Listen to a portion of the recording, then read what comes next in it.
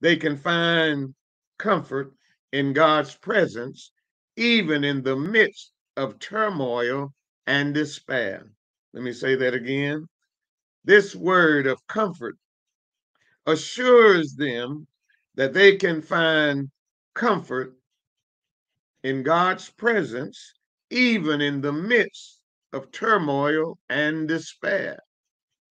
The benefits of comfort extend beyond merely just soothing their immediate troubled souls.